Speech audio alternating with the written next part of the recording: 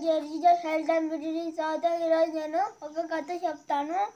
అనగనగా ఒక అడవిలో ఒక మహసింహ ఆడసింహం నివసించాయి అవి చాలా ఆహారం చెప్పుకుంటే బాగా హ్యాపీగా ఉండేవి కొన్నాళ్ళకి అది ఆడసింహం గర్భవతి అది మగసింహానికి చెప్తుంది అది చెప్పి మిగతా జంపులుగా మీ ఈ సింహం పోయి చెప్తారండి అన్ని జంతువులకి అవన్నీ దాని భార్యని బాగా హ్యాపీగా చూసుకుంటూ ఉన్నాయి. ఒక ఒకరోజు రాహుల్ బేడ్కి ఆహారం తీసుకొని బేడ్కి వెళ్తూ బేడ్కి వెళ్ళిపోయాడు. అట్లా ఒక వ్యక్తి ఓ- వెలగ వేటగాడు వచ్చి అవి దాని అందాన్ని చూసి దాన్ని ఎట్టైనా పట్టుకోవాలి అని అనుకొని డబ్బులు బాగా అమ్ముకుంటే పట్టణంలో డబ్బులు డబ్బులు బాగా వచ్చాయని అనుకొని ముచ్చు వేసి రాహుల్ ఏమో బయటకు వచ్చేసి నీళ్ళు దానికి బయటకు వచ్చేసి నీళ్ళు తాగుతూ ఉంటాడు మగసింహం నీళ్ళు తాగుతూ ఉంటుంది అది కూడా ఆడసింహం అయితే వచ్చేసి నీళ్ళు తాగుదాం అనుకునే లోపల ఆ వేటగాడు పొల వేసేసి తీసుకొని పోతాడు. అది రాహులు మగసింహం చూసి ఏం చేయలేకపోతుంది.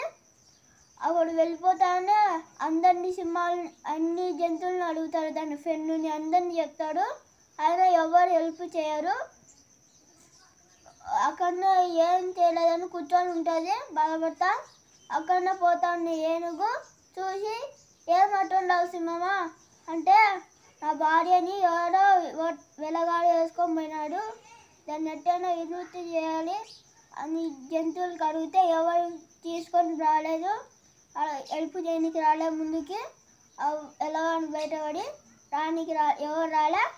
నువ్వు వచ్చావా అంటే రెండో పద అని రెండు పోతాయి.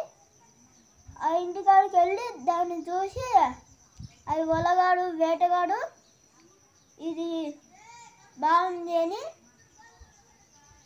ఇంట్లోకి వెళ్ళిపోతాడు. అప్పుడు రమ్మి ఏమంటుందంటే నన్ను వినిపించు ఈ పంజరంలో నుంచి వినిపించు అని చెప్తుంది.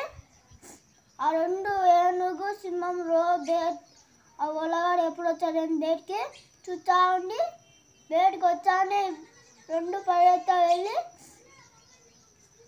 ఏనుగు ఎత్తి తొండల మీద ఎత్తి అంటది అప్పుడు సింహం అంటది నువ్వు కానీ నా భార్య వల్లదే అంటే కింద వేసి నలుపుతా కొరుకుతా అని చెప్తుంది.